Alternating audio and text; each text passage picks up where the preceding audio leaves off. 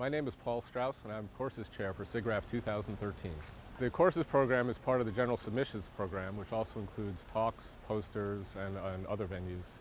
Courses are unusual in that they uh, sometimes repeat from year to year. So we try to get a good combination of introductory material and advanced material.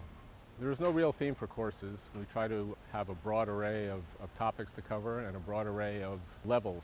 Uh, courses are slightly uh, higher bar than most of the other uh, submission types because they are long and they require multiple speakers in general for a long course or one or two speakers for a short course. The courses are selected as part of the general submission pool.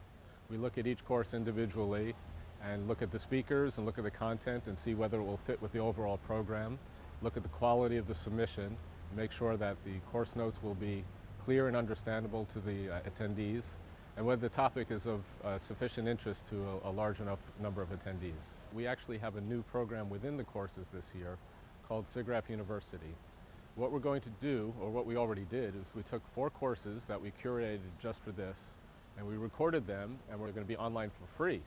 So anyone can refer to these courses to learn the material, to refresh themselves, or to uh, get ready for next year's SIGGRAPH. So we're hoping to have those online as soon as possible after the conference.